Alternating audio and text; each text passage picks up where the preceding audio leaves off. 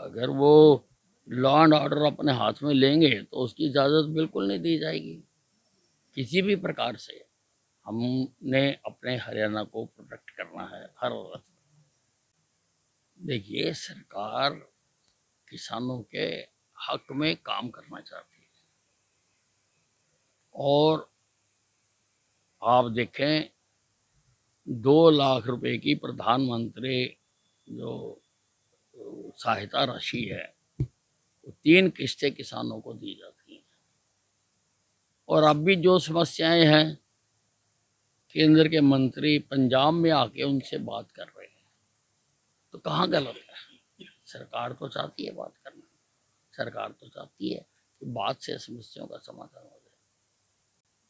अगर वो law and order अपने हाथ में लेंगे तो उसकी इजाज़त बिल्कुल नहीं दी जाएगी। किसी भी प्रकार से। हमने अपने हरियाणा को प्रोटेक्ट करना है हर देखिए, सरकार किसानों के हक में काम करना चाहती है।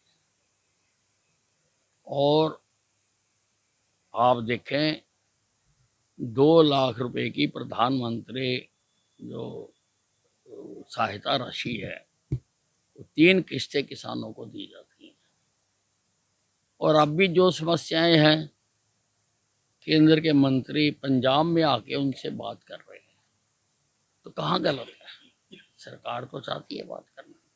सरकार तो चाहती है कि बात से समस्याओं का समाधान हो जाए। अगर वो लॉ एंड ऑर्डर अपने हाथ में लेंगे तो उसकी इजाज़त बिल्कुल नहीं दी जाएगी।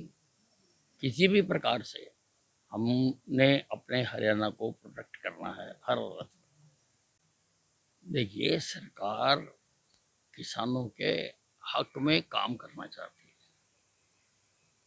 और आप देखें, दो लाख रुपए की प्रधानमंत्री जो, सहायता राशि है, वो तीन किस्तें किसानों को दी जाती हैं। और अब भी जो समस्याएँ हैं, केंद्र के मंत्री पंजाब में आके उनसे बात कर रहे हैं। तो कहाँ गलत है? सरकार तो चाहती है बात करना सरकार तो चाहती है कि बात से समस्याओं का समाधान हो जाए। अगर वो लॉ एंड ऑर्डर अपने हाथ में लेंगे तो उसकी इजाज़त बिल्कुल नहीं दी जाएगी। किसी भी प्रकार से हमने अपने हरियाणा को प्रोटेक्ट करना है हर देखिए, सरकार किसानों के हक में काम करना चाहती है।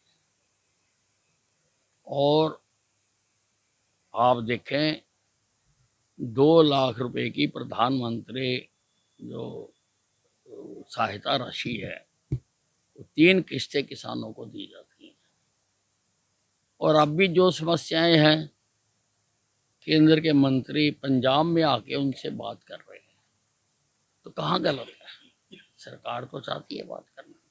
सरकार तो चाहती है कि बात से समस्याओं का समाधान हो